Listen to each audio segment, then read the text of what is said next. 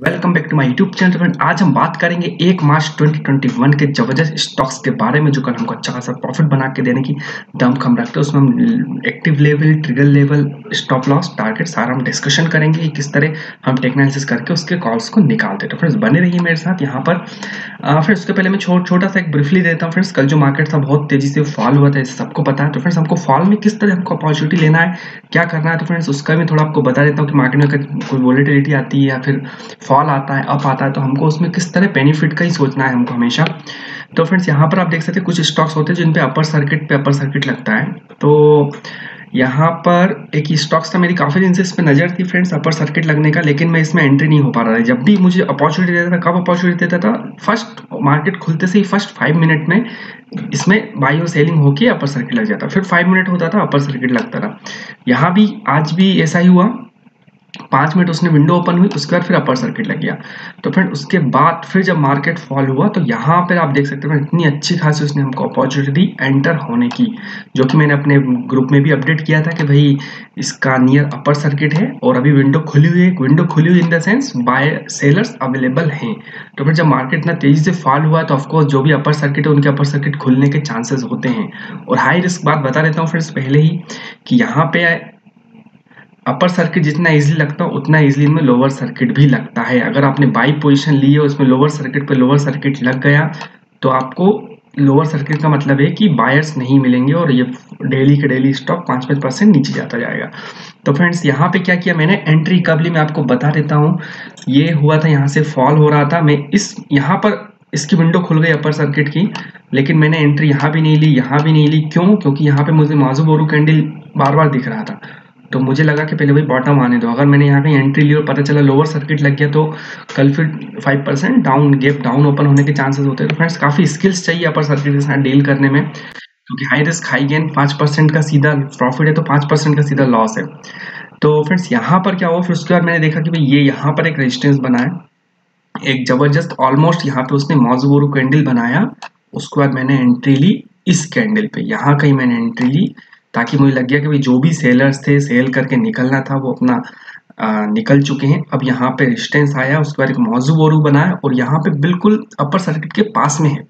तो हमेशा पास में हमको खरीदना है। ऐसा नहीं कि हम ये लालच नहीं करना कि फ्रेंड्स लोअर प्राइस में खरीदेंगे और यहाँ पर हमको बढ़ते से हमको पहले दिन आज का भी पाँच परसेंट हमको एक्स्ट्रा एड हो जाएगा। ऐसे नहीं करना है फ्रेंड्स में लोअर सर्किट भी लग सकता है।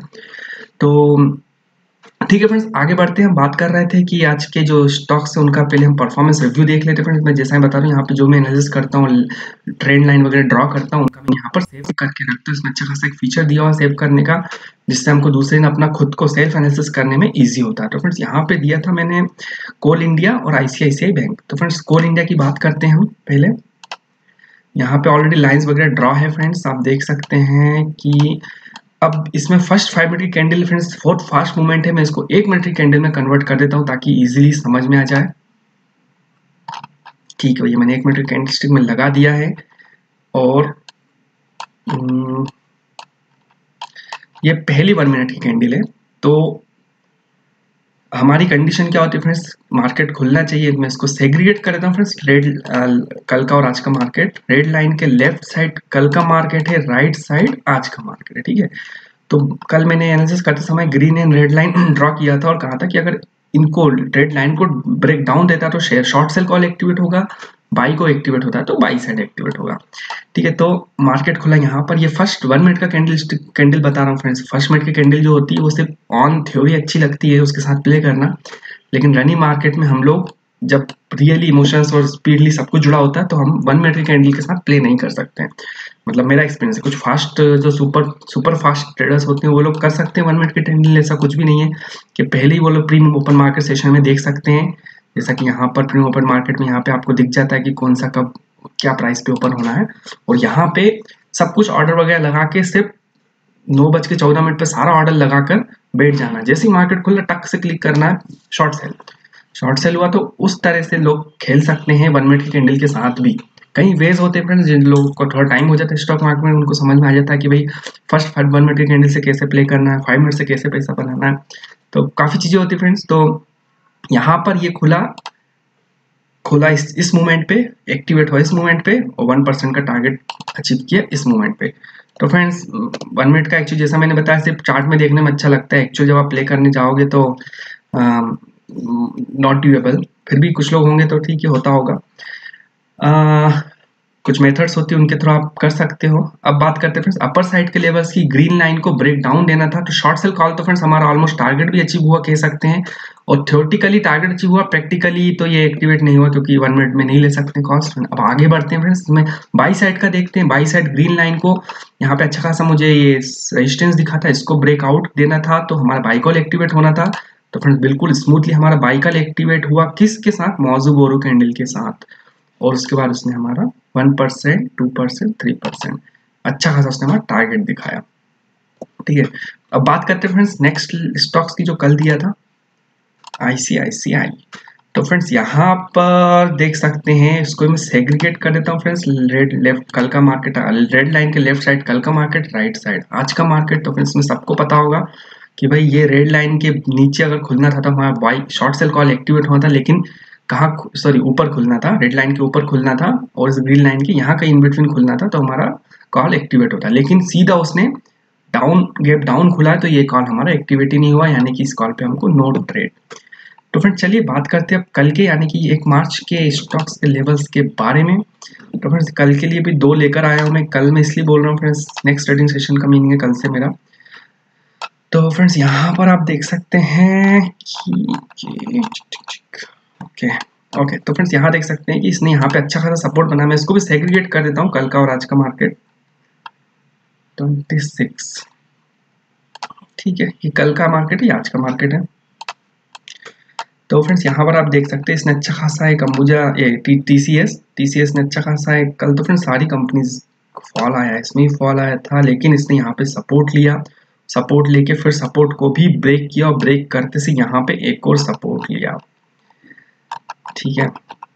तो फ्रेंड अब मार्केट बंद हुआ इस मोमेंट पे। अब फिर से कल अगर मार्केट पहली कंडीशन में फ्रेंड्स मार्केट खुलना चाहिए ग्रीन और रेड लाइन के बीच में। अगर इस ग्रीन लाइन को ब्रेकआउट देता है तो हमारा बाई कॉल एक्टिवेट होगा और उसके लेवल्स जो है फ्रेंड्स में स्टॉप लॉस टारगेट सारे लेवल्स में अपने यहाँ पे ग्रुप में आप लोगों को नाइन बज के सेवन मिनट जो प्री मार्केट सेशन होता है, वहाँ पर मैं एक बार और चार्ट को खोलता हूँ एनालिसिस करता हूँ कि भाई स्टॉक मार्केट का प्राइस है कहाँ खुल रहा है? अगर ग्रीन लाइन के ऊपर खुल रहा है तो हम इसमें बाई साइड नहीं जाएँगे।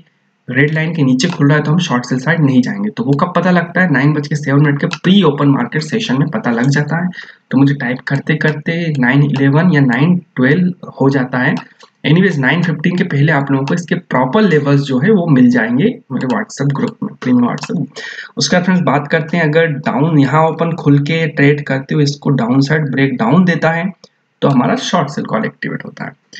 अब बात करते हैं नेक्स्ट एक और स्टॉक देख लेते फ्रेंड्स अंबुजा सीमेंट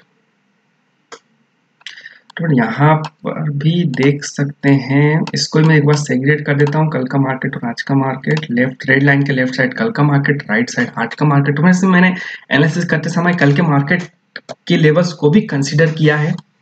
तो फ्रेंड देख सकते हैं आप यहाँ पर technique power of technical analysis कल मार्केट कितना भी गिरा लेकिन गिर के गिर के कहाँ पे आकर रुका? इस मूवमेंट पे रुका। और ये मूवमेंट क्या है फ्रेंड्स ये कल का भी सपोर्ट जोन है।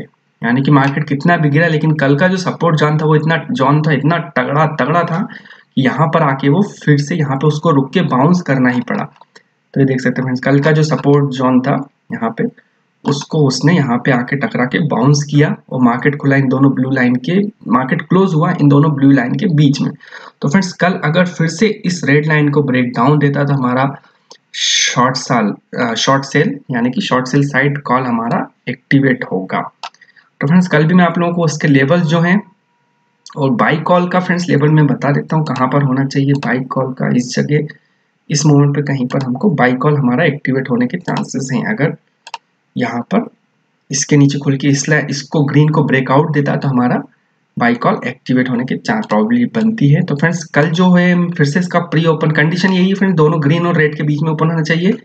और ट्रेड करते हुए अगर ग्रीन को ब्रेकआउट देता है तो बाई कॉल रेड को ब्रेक डाउन देता है। तो शॉर्ट सेल कॉल इसकी जो एग्जैक्ट लेवल है विथ स्टॉप लॉस ऑल में यहाँ पे कल नाइन बज के वही जैसा मैंने बताया फ्रेंड्स नाइन बज के सेवन मिनट पे एनालिसिस करके नाइन बज के थर्टीन टू फोर्टीन मिनट पे मैं अपडेट कर दूँगा। सो थैंक्स दोस्तों थैंक्स फॉर वॉचिंग बाय